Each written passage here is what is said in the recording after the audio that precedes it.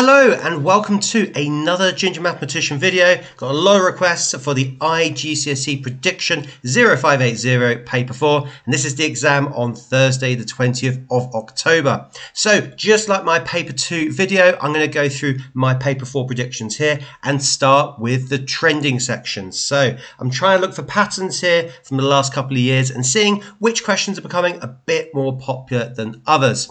And one thing to notice here is these table of values sketching graphs, which I'll talk about later in the video. That's certainly gone upwards from 6 to 9. Trig equations, they're trying to sneak into paper 4 as well. Interior angles, although overall only four appearances, made a really big appearance on the summer exams in 2022, which last year it was then paper 2. So interesting, they're trying to put these questions into both papers. And then just something I noticed as I was doing the research for this is that vectors have dropped from 6 to 4. Okay, that might be a case of appearing more on paper two. So really be aware of the trending section here because this allows me to actually see, okay, which topics are appearing most for you.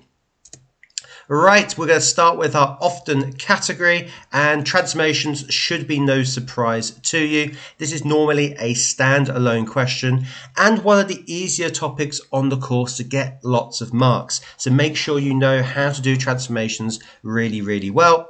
Okay, this is a typical question. A lot of these questions are coming from the 2022 papers that have just been released. As you can see, there shouldn't be any surprise here. You're doing a reflection in a line and translation by a vector. Make sure you can do that at home. Next topic is circle theorems. Now, this is equally distributed on papers 2 and 4. As I mentioned in my previous video, if you haven't checked out that video, then please do check out the video above. And this can also be integrated into areas of 2D shape questions as well. So just be aware of this. However, this question in front of you from 2022 is a very common kind of question. So I'm trying to give you as much exposure to those questions too. If you want to revise circle theorems, then do check out the video above as well, where I spend 60 minutes going through as many IGCSE questions as I can on this important topic. Quadratics, again, it's quite a loose category here. And these can arise from a speed distance time question, an area question, or as you see in front of you, a coordinate geometry graph question as well, where you have two equations, you're looking for the intersection points, and essentially this then turns into solving a quadratic. So first of all, make sure you're really good at solving quadratics and then be able to apply that to lots of different areas. Sketching graphs, table of values, I did promise that this would turn up. This is a standard paper 4 question that they have liked to put in and you have to plot a graph of some kind and then use that to solve a variety of different equations linked to that graph. If you're not really sure what I'm talking about with this kind of question, then check out the video above because I spend about 40-50 minutes going through exactly this kind of question. You can see this is a very typical question, filling in that table of values and then having to plot it and then use it in some way. On to functions. Now again, this doesn't appear as much as you can see, 8 in 14 papers, but when it does, it's a big, big question. And you can see this is the start of question 12. This generally is towards the end of the paper, so just be aware of that. And again, if you need practice on this topic, yep, you know what I'm going to say here, you can click on the video above too. Percentage calculations, again, a big staple of paper 2 and paper 4. Uh, this can vary in skill from basic work out a percentage to work out a percentage increase and decrease. And I saw this very interesting paper from May, June 2022. As you can see, they again done a slight twist for this big five mark question. So I put this in front of you. I'm not going to go through it in this video, but just be aware they are trying to change these questions slightly to test your knowledge. And on to the almost certain category, of course statistics is going to be in there, of course. And this usually involves cumulative frequency curve and doing some interpretation. Now this could go into histograms as well, box plots too. Make sure you can work out the estimate of a mean and make sure you can do that manually. The question I've picked out here from 2022 is exactly that for four marks. So you really do need to know that. Now this topic goes very nicely into my next often topic actually, which is probability. Because the next part of that particular question you just saw in front of you was actually a probability question. So although probability itself comes up 10 and 14 papers, and in fact with Venn diagrams it comes up 5 and 14, uh, it can be integrated into other topics. Statistics generally is one of those topics where those probability questions can appear. So even though this comes under the often umbrella here, I would put this with the almost certain topics because it's really, really important that you know how to do these kind of questions. Differentiation, again, big topic, particularly for the higher grades. If you're aiming for an A or an A star, this is a way to differentiate yourself, again, to use that word, to really distinguish yourself from B grade candidates. So you can show you can do A grade and A star content.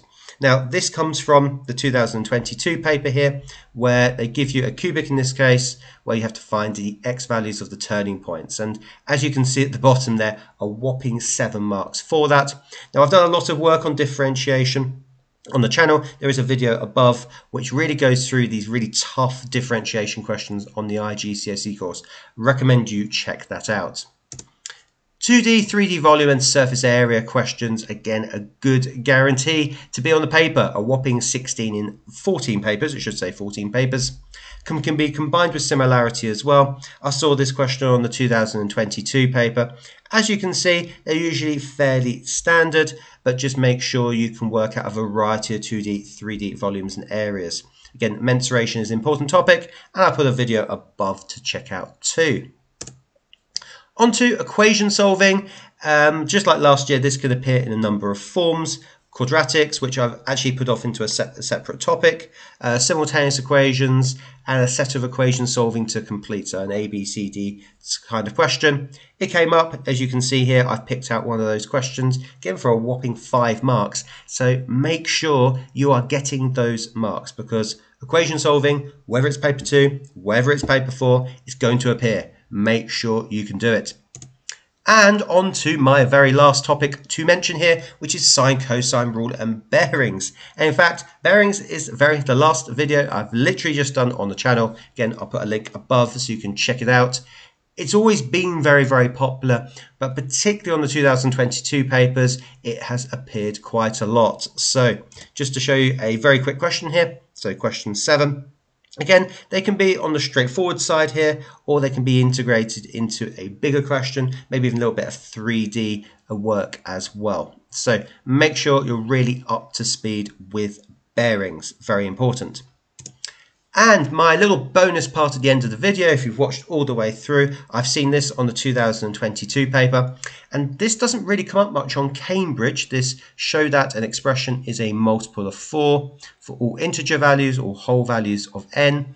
Now, Edexcel, so the Pearson's IGCSE, usually have a lot of these kind of questions. But since this has come up on Cambridge this, this year, I thought I'd go through it with you. So the way we do this is we're going to expand the double bracket. Remember, 2n minus 5 squared is the same as multiplying by itself. So we're going to multiply out the bracket using the double hook, as I like to call it. FOIL, there's lots of names for this. So 2n times 2n is 4n squared. 2n times minus 5 is minus 10n. Minus 5 times 2n is minus 10n. And minus 5 times minus 5 always be careful here, is plus 25. Don't forget the minus 13 afterwards. And what we're going to do here is collect like terms. So we're going to collect these together and then these together. So we get 4n squared minus 10n minus 10n is minus 20n. And then plus 25 minus 13 is equal to plus 12. Now, the way we're going to show this as a multiple of 4 is we're actually going to factorize by 4. So notice 4 goes into each of these terms. So what do I do to 4 to get to 4n squared? n squared. What do I do to 4 to get to minus 20n? Minus 5n. What do I do to 4 to get to plus 12? Plus 3. And so because we basically got 4 times something, Again, n is just an integer, so that's going to give me an integer value. Therefore, I have shown to the examiner that this is, will always be a multiple of 4 where n is an integer, which this is the correct notation to use. n is in the set of integer values. So if you saw this question going through the 2022 papers, thought I'd go through this with you as well to make sure you're really up to speed. And if you really need to get up to speed on all things 0580, then the topic I'd really recommend you check out is the video in front of you where I go through all the trigonometry questions I can find and that will really stand you in good stead for a lot of questions on the paper 4.